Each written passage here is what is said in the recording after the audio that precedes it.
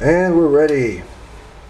Okay guys, so I'm gonna do a little bit of a short video. Gonna pretty much rush around some of the parts here, just trying to show you what I'm working on for this October.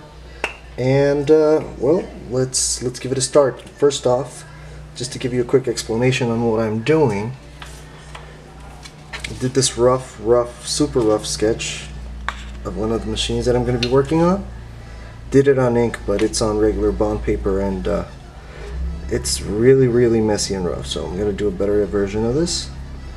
And I'm using special ink paper here. It's a couche paper, very light. And we're going to be using very few instruments. I'm actually only using a couple of things for this Inktober. I'm using the Staedtler 005, 01, and an 02. And I don't know if you can see them there. But there's, all of them are very, very fine. And basically, what we're going to do is we're going to do a little bit of clean inking on this paper, alright? So, the other thing that I wanted to show you was this light box that I'm totally in love with. It's an A4 size, and I just got it from Hong Kong, I believe, somewhere around the globe. So let's get this puppy on the road. Okay, so you're gonna notice something really weird. Not weird, but basically what I'm doing here on my process is I'm starting with all the rough, rough, very, very thick line work here. And even saying thick line work is kind of an oxymoron because I like to work with very fine detail most of the time. But once we get into the finer, finer details, you're going to see what I'm talking about. Now, I don't always work like this.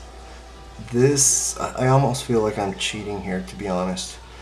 But it's the only way that I can actually cope with the finishing Inktober and finishing all the pending projects that I've got because I have quite a few freelances going on right now and pending projects that I have to deliver.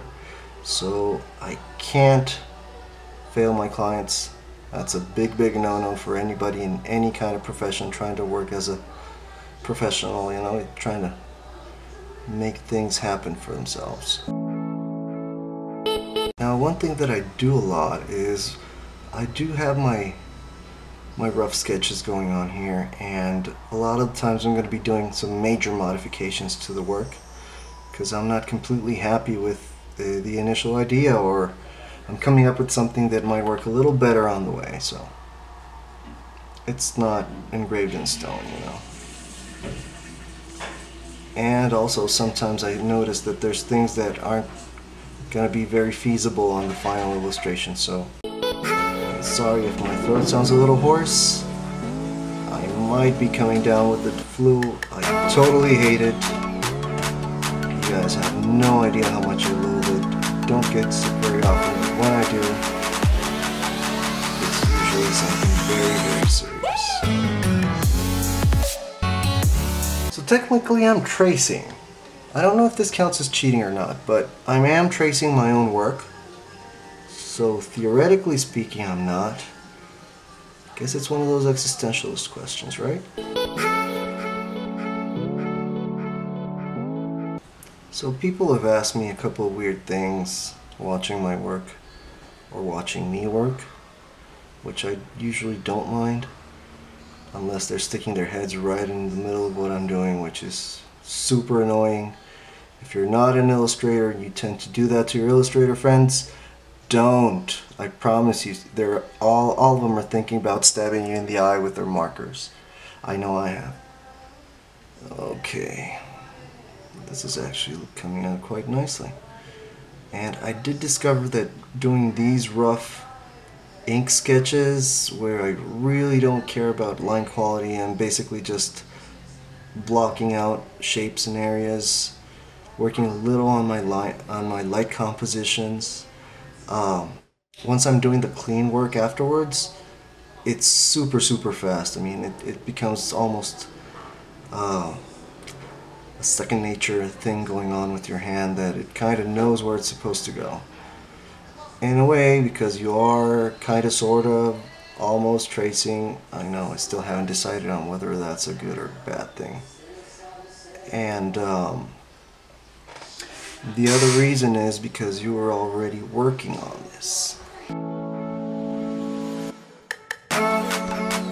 Okay, something really important on this is that this paper will take on ink really quick and the final result is awesome, but it takes quite a while to dry up. So if I were to touch any fresh parts right now, I would make a glorious smeary clusterfuck.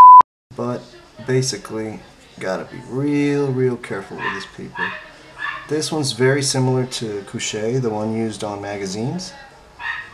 And it's it's glossy, it's really nice.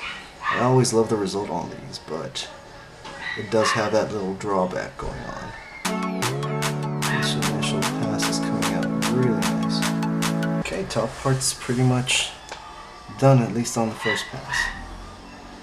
Now, I'm repeating myself and mentioning that this is the first pass here, first pass there. Now, why am I saying that? Because once I'm done with this initial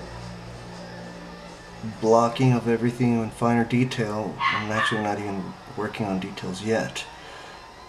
I'm separating all my spaces because I'm actually going to go afterwards over this and start adding all the real details. This is just the rough outline.